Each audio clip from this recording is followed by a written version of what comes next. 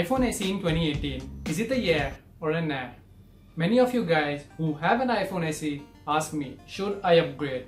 And many of you guys are there because of the fall in the price of the iPhone SE are asking me, should I buy it as my first iPhone?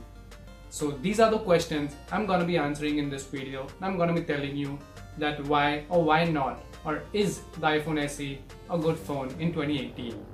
Let's start off with the display and the design. So it has an aluminium boxy design and it feels pretty much premium. Yes, it is a premium smartphone when compared to others. Now coming to that display. It has a 4-inch IPS LCD display with a pretty much low resolution.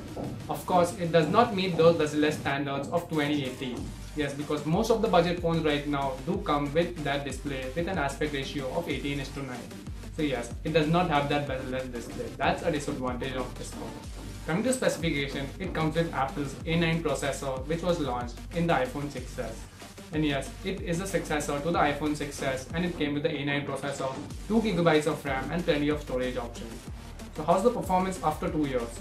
I can say it is great. Yes, it is not that bad. And with iOS 12 around the corner, I think the performance of this device will improve a lot as well.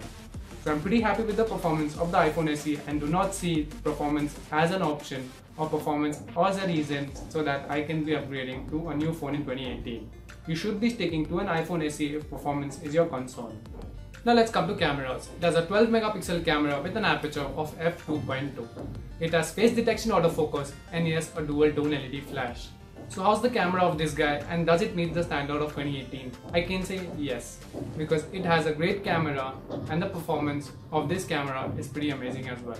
You can see great colors, the pictures are sharp enough and you won't see any problems. Yes, it has a single camera and you miss that advantage of a dual camera setup such as telephoto or you also miss the portrait mode on this guy. But I can tell you that performance of the camera can never be an issue for you to upgrade to 2018's new phones. The iPhone SE can also record at 4K 30 FPS. And yes, it is a compact device and do not forget, it was the last iPhone to have a headphone jack. Now, so how is the iPhone SE in 2018? Should you upgrade or should you buy an iPhone SE in 2018?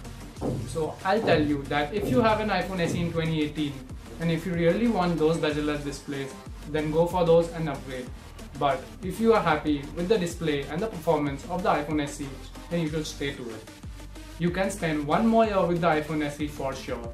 It has great performance, the camera is decent enough, it has all the necessary features such as the headphone jack, and yes, it is a great phone. It is compact, a one-hand device, and if you're fine with it, I can say that you can keep it. Coming to the battery, it can last me almost throughout the day.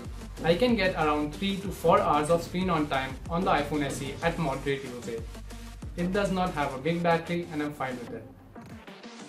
I've been using this phone for one and a half years and the battery health of this guy is nearly 85%. So I can tell you that the battery capacity of this guy is quite good and you will be happy with it if not satisfied with it. Yes, if you've been continuously using your phone in the last two years and your battery capacity is less than 70%, then I'll tell you that upgrade to a newer phone. But if your battery health is good enough, then I'd tell you to spend one more year with your iPhone SE and then buy a new phone in 2019. So guys, that's pretty much it. Thumbs if you liked it, subs if you loved it, and I'll see you in the next one.